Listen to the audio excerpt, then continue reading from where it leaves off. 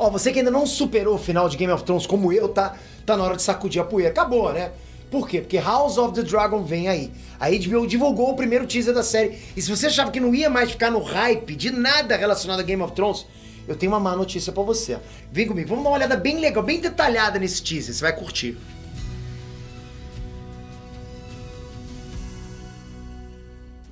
Inês Transpetra aqui. Galera, na boa, tá na hora da gente esquecer aquele final polêmico de Game of Thrones. É difícil esquecer, eu sei disso. Machucou pra caramba. Pô, imagina, você ficou assistindo, porra, oito temporadas. Foram oito, né? Oito ou nove, não lembro agora. Mas, porra, aquele último episódio. Ai, meu Deus do céu. Mas, enfim, poeira baixou já. Agora, coisa totalmente diferente. House of the Dragon é um prequel. Vai acontecer antes. Elas passam 200 anos antes do início de Game of Thrones.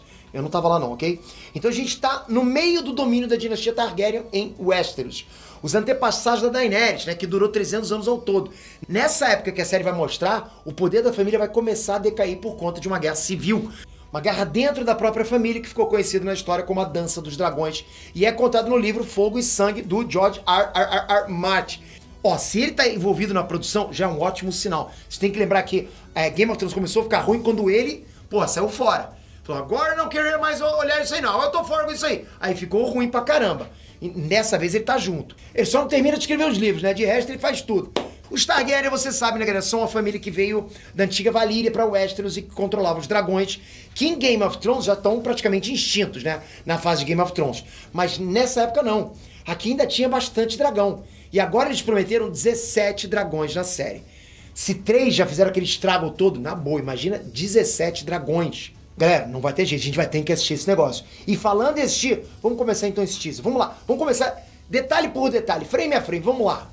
O vídeo já começa com alguém carregando uma tocha descendo uma escada escura. E pelo cabelo é alguém da dinastia Targaryen. É um membro da família, provavelmente o príncipe Daemon Targaryen, que é uma pessoa bem importante dessa época. Pelo clima, pelo lugar, fica difícil entender onde ele tá indo, lógico, né? Se lembra onde a Daenerys guardava os dragões lá nas Cidades Livres? Numa espécie de porão, uma masmorra?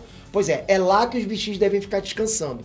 Aí a gente tem um casal de costas, né? Provavelmente são os dois príncipes mais importantes da casa Targaryen. O Daemon, da primeira cena, e a princesa Rhaenyra Targaryen, que vai ser muito importante também nessa dança dos dragões. Deuses! Bem na hora que entra essa vez, dizendo a palavra deuses, dá pra ver por cima das velas, no meio da fumaça, o primeiro dragão da família Targaryen. Se você olhar bem na fumaça, dá pra ver os dentinhos dele. Olha isso, né? Galera, na boa, o bicho não parece ser muito pequeno, não. Imagina 17 desses daí. Essa série não tem como ser ruim com essa quantidade de dragão, na boa. Eu sei que já foi em festa, viu dragão pra caramba, mas aqui o dragão é outro, é dragão pra caraca grande, hein? Ali o brochezinho da mão do rei. Lá em Game of Thrones, ser a mão do rei era, porra, um azar danado, né?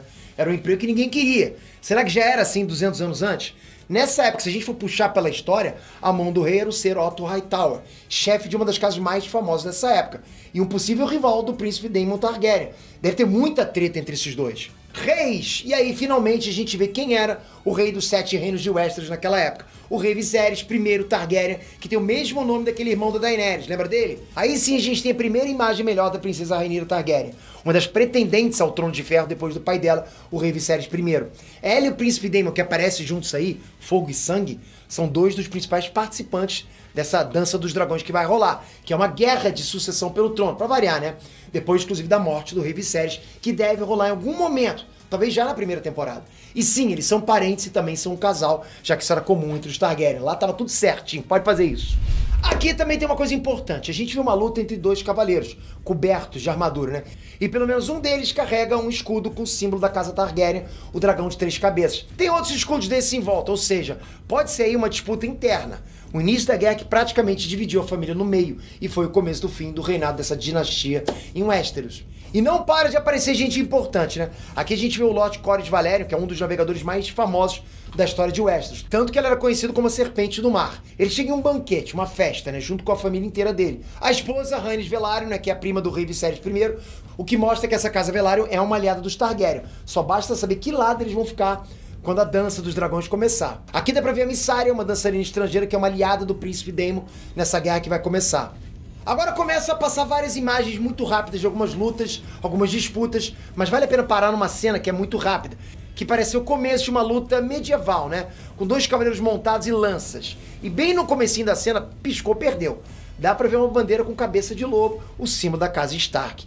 Pois é, ninguém falou deles até agora. Mas, obviamente, os Stark já existiam lá no norte. Talvez a gente conheça alguns dos antepassados do Ned Stark, da Arya, da Sansa, do Robb, né? até do Jon Snow, quem sabe? Isso é uma coisa que também vai ser muito legal de ver. Os sonhos não nos fizeram os reis, os dragões fizeram. Que é provavelmente a grande frase desse teaser, da série toda, talvez. Só que vale a pena prestar atenção na imagem também, tá? Essa é a primeira vez que a gente tá vendo a sala do trono lá em Porto Real, onde o trono de ferro fica. E ele tá um pouquinho diferente, hein? Nos degraus existem várias espadas ali. O trono parece até um pouquinho maior. Mais ameaçador ele tá parecendo, que é a ideia original mesmo. É uma coisa um pouco mais próxima do que o George R. R. Martin, o escritor de Crônicas de Gelo e Fogo, tinha em mente quando ele pensava no, no Trono de Ferro.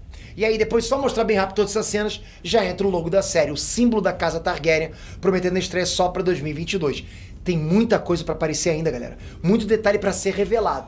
Mas já deu para ter uma boa ideia do que, que vai rolar em House of the Dragon, né? Das figuras mais importantes dessa nova história, que na verdade é velho, né? Porque se passa antes, e do que vem por aí. Eu avisei, galera, o hype chegou. Quem curtia Game of Thrones, pelo menos no início, vai ter que assistir essa série, não tem como. E quem não viu ainda, dá tempo de ver chegar com tudo 2022 que, que você achou desse primeiro teaser? Larga aqui nos comentários, curtiu? Tá hypado agora pra House of the Dragon? Ou depois daquele final de Game of Thrones, você não quer nem mais saber disso? Larga o teu joinha pra apoiar esse canal, trazer mais Game of Thrones pra vocês aqui, universo de Game of Thrones, porque eu adoro. Apesar daquele final, eu adoro. Vocês viram como é que eu fiquei chateado com aquilo. Enfim, porque a gente é fã, né? A gente é fã, a gente tem que extrapolar às vezes. Mas obrigado de coração por mais esse vídeo. Se inscreve aqui, ativa o sininho, vamos começar agora a acompanhar. Eu vou trazer tudo sobre esse universo, sobre esse novo universo, né, agora, digamos, de House of the Dragon pra vocês. Mas para isso, vocês têm que estar inscrito no canal com o sininho. Sem sininho, vocês vão perder os vídeos, vão ficar desinformados. Obrigado por mais um vídeo, até a próxima. Fui!